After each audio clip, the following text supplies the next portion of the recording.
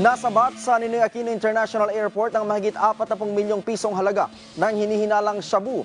Ayon sa Bureau of Customs, nakuha ang nasa 6 na kilo ng hinihinalang shabu sa bagahe ng Malagasy National na nanggaling sa Madagascar. Ang suspect ay naharap na sa reklamong paglabag sa RA 9165 o Comprehensive Dangerous Drugs Act of 2002 at RA 10863 o Customs Modernization Act.